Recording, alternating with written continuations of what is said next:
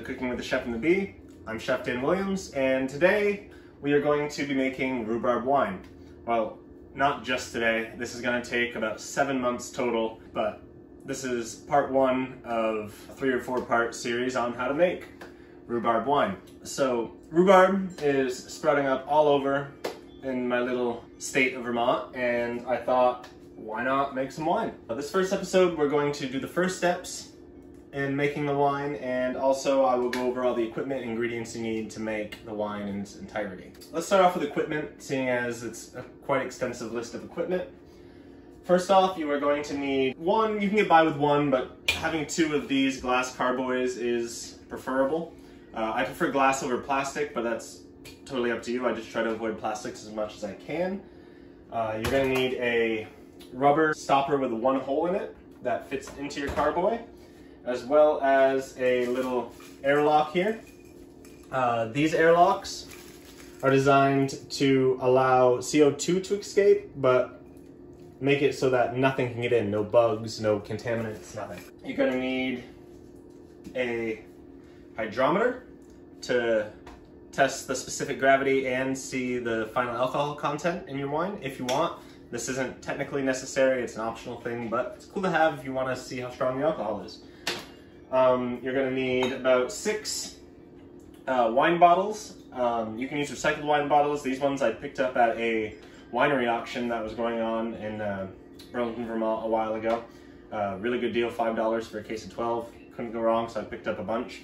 You don't have to use wine bottles. You could use mason jars, whatever. But I just like wine bottles. They look nice.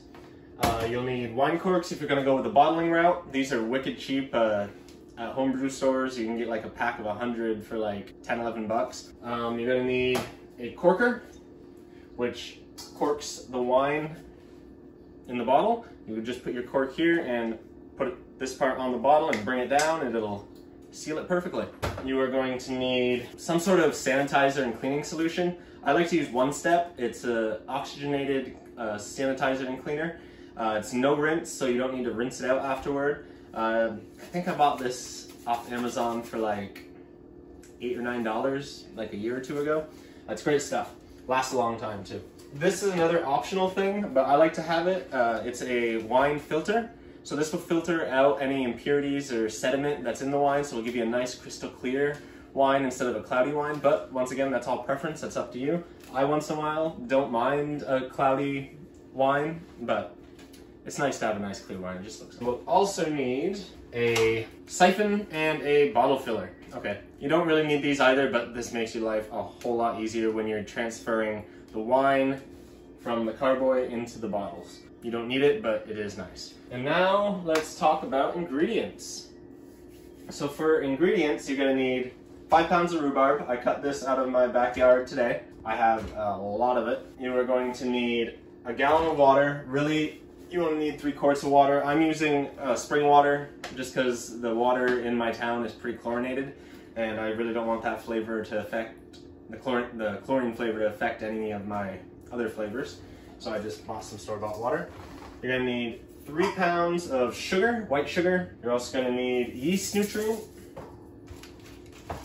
one Campden tablet, which is just uh, potassium metabisulfate. Uh, you're gonna need a one packet or five grams of white wine yeast. You're gonna need a bag of black tea. Uh, this is optional too, but I like to add it because it, it'll add some tannins to your wine. Uh, it's not necessary, but I like a nice tanniny wine, you know? You will also need, at the end, if you want to back sweeten the wine, which means if your wine is not quite as sweet as you'd like it, you can add more sweetener, more sugar, more honey, whatever, after it's fermented. So in order to do that, you're gonna need a about a half a teaspoon of potassium sorbate, which kills off the yeast. And then you're gonna need about a cup of sugar or half a cup to a cup of honey. You want to you want to kill off the yeast, otherwise fermentation can start back up, and then once you bottle it, your bottles could explode while they're aging. Let's get right into the first steps of making this wine. All right, so you're gonna want to trim off any of the le big leaves that are on the top of the rhubarb, and then wash your rhubarb because there will be dirt and dirt and little bugs all over it. And then you're just gonna chop it into little thin pieces, about half inch pieces. Just like this.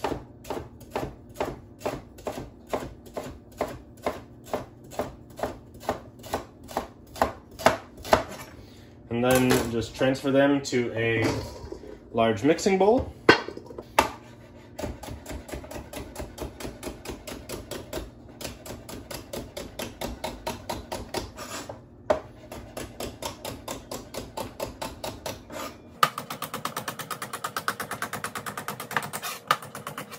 Chopping rhubarb, the smell of it brings me right back to when I used to go over to my great grandmother's house and she'd be making strawberry rhubarb pie or something with rhubarb. The smell is very nostalgic.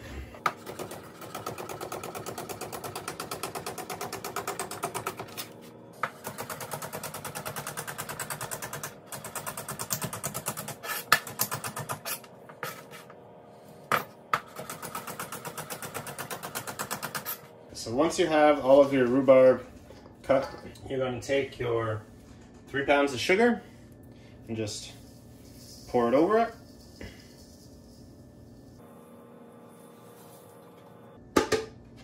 And then just give it a shake so it coats all the rhubarb in there. Now this might seem like a lot of rhubarb and a lot of sugar, but I promise you, it's gonna come out perfect, and this is the exact amount you're gonna want. So once all the sugar and the rhubarb is all mixed together, you're gonna let it sit for 24 hours to three days. I'm only gonna do 24 hours. You're gonna leave it out at room temperature, and you're gonna cover it with plastic wrap. I'm out of plastic wrap, so I'm just gonna cover it with tin And tomorrow, when I get up, this should be fully macerated and there will be a nice pink syrupy liquid at the bottom, which will be the base to our wine. So, hope you enjoyed this first episode of the rhubarb wine series. Um, the next episode will be posted probably tomorrow. As I said earlier, this whole process takes about seven months total, a month for fermentation and then an additional six months to age the wine. Uh, that is if you want to age the wine. I do highly recommend that you do age the wine, but that is, once again, your choice. Um, so yeah, as always, please subscribe to my channel and be sure to like and share this video. Um, also, visit my website, chefandbee.com. Once again, that's chefandbee.com. There you can find a bunch of information about me and my goals for my future restaurant, The Chef and the Bee. Um, you can get involved by subscribing to my newsletter and taking a dining survey, which is on the homepage at the bottom. Uh, so yeah, I'll see you tomorrow.